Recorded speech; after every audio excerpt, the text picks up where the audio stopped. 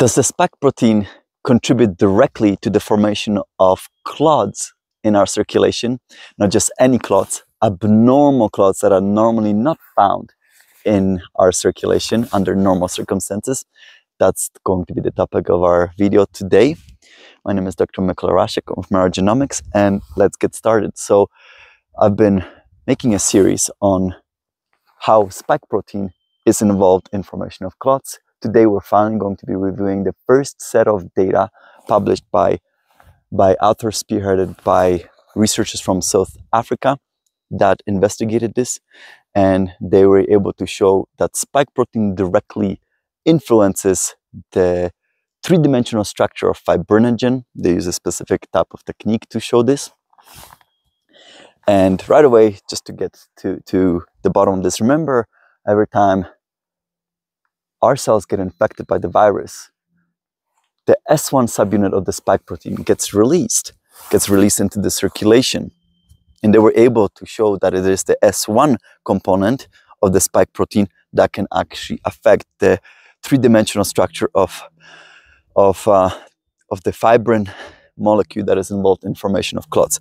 Check out our past video that talks about how clots are formed and how fibrin is involved in the formation of clots to, to get background information. And also check out another video on where we describe the spike protein that it's made up of two subunits, the S1 and S2. S1 is the main head, and it's that head that interacts with the ACE2 receptor that allows subsequently virus to infect the cell that it targeted via ACE2 receptor. Okay, so that's important, important information. So what the authors are, these authors also showed. Remember, in, in the previous numerous videos, I showed that they they were able to use fluorescent microscopy to to study abnormal clots. But when I say abnormal, what I meant by that is that these clots are amyloid in nature. That in itself means they are the proteins involved are misfolded. They're not folded properly, so they have abnormal three-dimensional shape and they were able to show that through the use of this compound called thioflavin T which interacts with abnormal amyloid proteins and that's how you can actually study such proteins. And they were able to show that these clots seen in long COVID or in acute COVID are amyloid or abnormal in nature. And in this first experiment that I want to tell you about the authors were able to show that taking normal healthy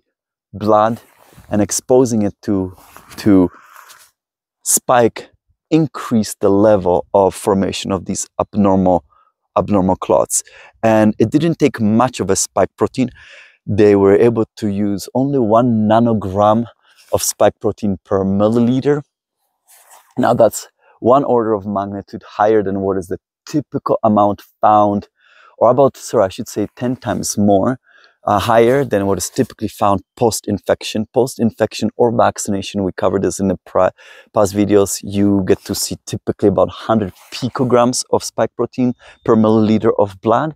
But I've also mentioned in the series dedicated to the science of shedding that higher levels of spike protein have also been observed in the blood, including up to one nanogram of per mil of spike protein. So this is definitely in the potential physiological levels what they were able to show. And clearly there were these authors are showing that these levels of spike protein could be on its own can be inducing formation of these abnormal clots. So definitely very very important data. On top of that the same amount of spike protein was used by these authors to show that when they use that amount of that spike protein exposed to blood such amount of spike protein was also activating platelets. Now remember in the past videos I mentioned activated platelets also are involved in the formation of clots as well and activated platelets are also involved in pro-inflammatory state so not exactly what we want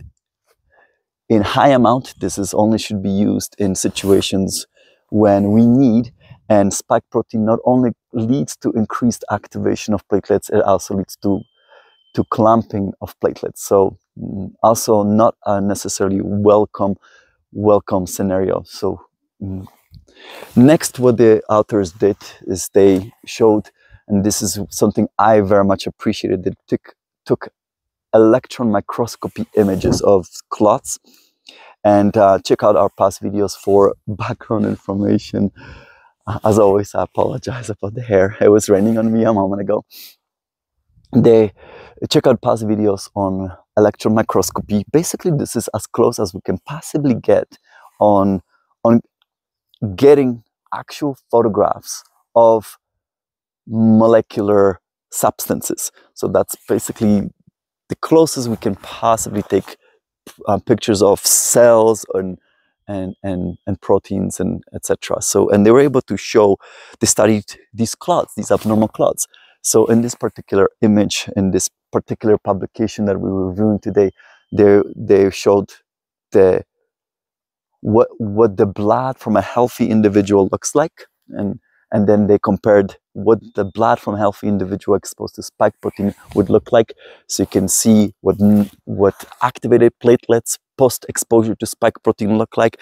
And then they were able to show in other panels how these, that exposure to spike protein leads to the formation of these fibrin networks of what I call wires, basically fibrin molecules, when they start coalescing together, they form like long, like spaghetti noodles, what looks like spaghetti noodles, and or like I call it wires, and so they was spontaneously forming, and some of these start to look abnormal in nature. So that's the bad news, by the way. But I also have good news in all of this. So that there's a bad news and a good news I wanted to to share with you from from the study. So that's the bad news is that mere exposure to spike protein seems to be contributing to the formation of these abnormal clots. And uh, well, then maybe let's get to the good news then, right? So uh, the good news is that they, and this is the next experiment that I'm going to be discussing, is definitely my favorite that they that they presented in in in that particular publication, and that is basically they studied the clot formations inside tubes and basically allow them to measure how clots are formed under flow. So they were flowing blood through these tubes and they put thrombin in, so which thrombin starts uh, the generation of clots and, and they were able to show what it looks like when you take healthy blood. And they were able to see tiny tiny clots that that formed after some time and these clots got easily dislodged as well. Now they when they took blood from uh, individuals who were uh, sick with uh, acute covid-19 and those clots uh, became quite large. They formed really quick as well. And and you could really see and you could really see the difference. And and these clots were not dislodged through the blood flow. So big big difference. Now here's the good news is that they took also the blood the blood of healthy individuals and they exposed them to the spike protein. And again you can see that clots were being formed as well but um, they were not the same level of size and there's not the same order and they did happen to be dislodged. So this is the good news is that okay maybe spike protein can produce clots sure right? But on but these clots can be dislodged. They're not as let's call it sticky or maybe as maybe dangerous as what is potentially seen in in those acute covid-19 individuals. And clearly that would indicate that there has to be other predisposing factors, other molecules involved in in the formation of clots that that um, are persistent in in in retaining their shape. So what the authors basically are concluding from this paper is that the clots um, that are formed merely due to exposure of the spike protein are somewhere in between what we would see the healthy clots and those that are the worst, which are the ones that are seen in individuals with with uh, from who suffer from acute COVID-19, uh, including also um, the shape. So the clots from acute COVID-19 individuals are quite more dense. They're they're they don't look the same way so that, that those spaghetti noodles are more compact in, in the formation of the clots. And when you just use the spike protein without any other additional molecules and you just take the healthy plasma, it's going to be somewhere in between. So that's good because perhaps that means that there is a less likelihood of having such clots flowing around in circulation and causing problems because remember in the previous videos I was mentioning the authors believe that it is precisely these unusual clots, these amyloid abnormal clots formation in post-long COVID, in individuals with long COVID or, or individuals with acute COVID-19 that might be leading to the, the, the array of, of persistent symptoms. And they believe it might be one of the big reasons why is, of course, is because these clots end up clotting small blood vessels and it means that oxygen is not being delivered to the tissues and you end up with uh, experiencing the variety of the symptoms that people are suffering as a consequence in, in long, long COVID.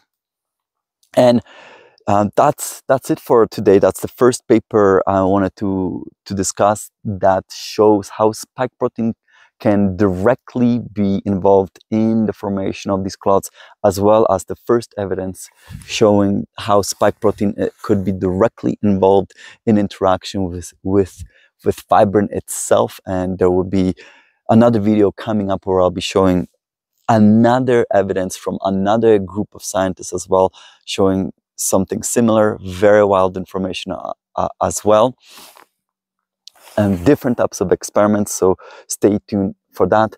I also wanted to let you know uh, that we have another COVID Q&A coming up.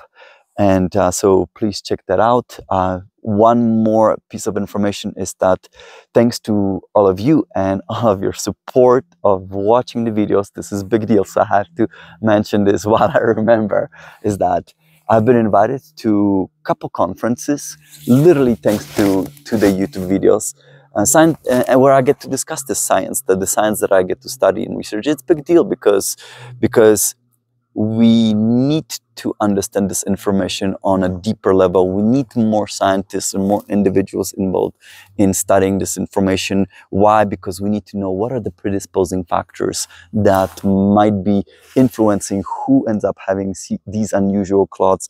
How can we prevent it? And more, of course, most importantly, how do we treat it once this might be happening in an in, any individual right? So thank you so much for your support. Thank you for sharing the videos. Thank you for all of that because because of that there's these videos get enough clout that I've been invited. So please check it out. The registration um, uh, link to the conference, it's free, is going to be provided in a description. So please register if you're interested in the topic of long COVID. This conference talk will be dedicated to both the topic of long COVID as well as chronic fatigue syndrome. Why? Because these two conditions, long COVID and chronic fatigue syndrome, have remarkably similar symptoms as they present very similar symptoms and um, speaking of which I will be making another video by the same group of authors that I just whose work I just discussed in today's video where they studied the formation of these clots in individuals with chronic fatigue syndrome. One of the most common questions that I'm getting from these videos in the series is how does the vaccinal spike protein contribute to this or how does the vaccine contribute to this? And some of those questions we'll be answering in that video as well so please stay tuned. And lastly uh, also please check out the patreon account. It's a new account uh, where we post videos based on science as well but more controversial, if, I can put it that way, where uh, where I'm not worried because it, there's a paywall there, and, uh, and I I'm I'm feel more comfortable simply discussing mm, discussing information uh, and sharing opinions as opposed to simply analyzing scientific information of other people. All right, that's all I have for you today. Thank you once again, and I'll look forward to seeing you next time, everyone. Bye.